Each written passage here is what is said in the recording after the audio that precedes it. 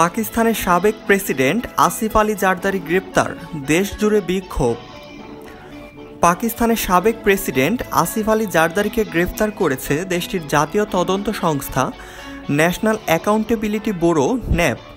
ভুয়া অ্যাকাউন্ট ব্যবহার করে অর্থ পাচারের একটি মামলায় সোমবার বিকেলে তাকে গ্রেপ্তার করা হয়।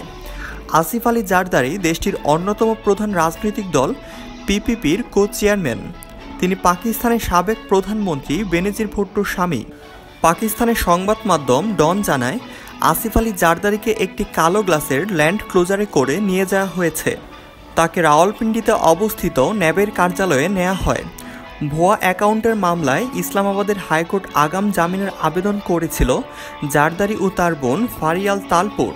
সেই আবেদন বাতিল হওয়ার কয়েক ঘণ্টার মধ্যে সেই প্রেসিডেন্টকে গ্রেপ্তার করা হয়।